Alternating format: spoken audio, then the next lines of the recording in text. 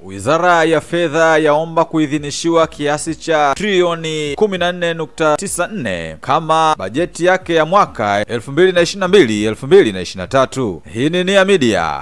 Ili kuendelea kupata taarifa zaidi, endelea kuwa nasi. Habari zaidi inasema kwamba Waziri wa Fedha na Mipango Mheshimiwa Dr. Mwiguru Nchemba ameomba Bunge la Jamhuri ya Muungano wa Tanzania kuidhinishia wizara hiyo bajeti ya kiasi cha shilingi trilioni 14.94 kwa mwaka wa fedha 2022-2023 kama bajeti ya wizara hiyo. Aidha, akizungumza bungeni, Waziri Dr. Mwiguru Nchemba amesema kwamba miongoni mwa changamoto zilizoibuka na kuikumba wizara hiyo ni mfumuko mkubwa wa bei katika soko la ndani na kasi ndogo ya ukuaji wa pato la taifa kutokana na athari za mlipuko wa ugonjwa wa COVID-19. Lakini pia vita kati ya nchi ya Urusi na nchi ya Ukraini vimechangia pakubwa. Anaendelea kusema kwamba changamoto nyingine ni kuongezeka kwa gharama za utekelezaji wa miradi ya maendeleo na ununuzi wa vitendea kazi kutokana na mfumuko wa bei, hivyo kuathiri mwelekeo wa bajeti iliyokuwa imeidhinishwa na bunge hapo mwanzo. Ili kuendelea kupata taarifa zetu mbalimbali kutoka hapa Tanzania, Afrika ya Mashariki, Afrika na duniani kote, endelea kufuatilia chaneli yetu pendwa ya Nia Media. Tunakukumbusha kusubscribe, kulike, kushare na kukomenti, lakini pia tunakuomba uendelee kufuatilia kurasa zetu mbalimbali mbali katika mitandao mbalimbali ya kijamii kama vile Instagram, TikTok na Facebook kwa jina la Nia Media TZ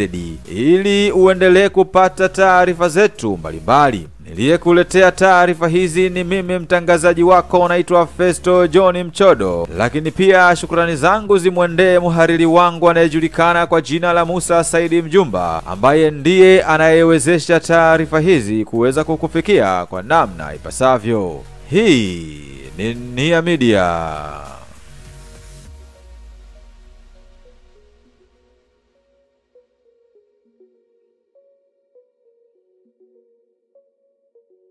Thank you.